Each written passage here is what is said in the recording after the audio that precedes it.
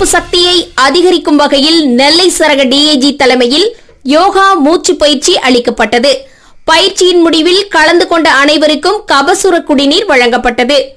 கடந்த மார்ச் மாதம் தொடங்கி தற்போது வரை ஊரடங்கு உத்தரவு பல்வேறு தளர்வுகளுடன் அமலில் உள்ள நிலையில் காவலர்களின் மன அழுத்தத்தை போக்கும் வகையிலும் அவர்களின் நோய் எதிர்ப்பு சக்தியை அதிகரிக்கும் வகையிலும் நெல்லை சரக டிஐஜி பிரவீன்குமார் அபினவு தலைமையில் காவலர்களுக்கு யோகா மற்றும் மூச்சு பயிற்சி அளிக்கப்பட்டது.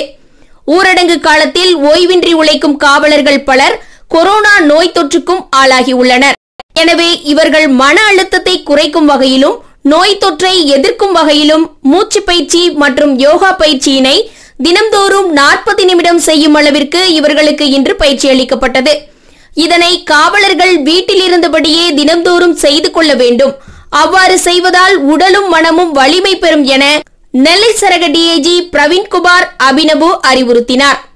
பின்பு பயிற்சியில் கலந்து கொண்ட நூற்றி ஐம்பது காவலர்களுக்கும் பயிற்சியின் முடிவில் டிஐஜி பிரவீன்குமார் அபினவு கபசுர குடிநீர் வழங்கினார். இந்த நிகழ்வை ஆயுதப்படை காவல் ஆய்வாளர் மகேஸ்வரி ஒருங்கிணைத்தார். வாழும் கலை மையத்திலிருந்து யோகா பயிற்றுநர்கள் ஜெகதீஸ்வரன் மற்றும் ராமகிருஷ்ணன் ஆகியோர் காவலர்களுக்கு யோகா மற்றும் மூச்சு பயிற்சியை சொல்லிக் கொடுத்தனர். மேலும் இது போன்ற மகிழ் டிவியின் தொடர்ச்சியான பதிவுகளுக்கு மகிழ் டிவியை சப்ஸ்கிரைப் பண்ணுங்க பெல் ஐக்கானை கிளிக் பண்ணுங்க. எங்களோட பதிவுகளை லைக் பண்ணுங்க கமெண்ட் பண்ணுங்க ஷேர் பண்ணுங்க.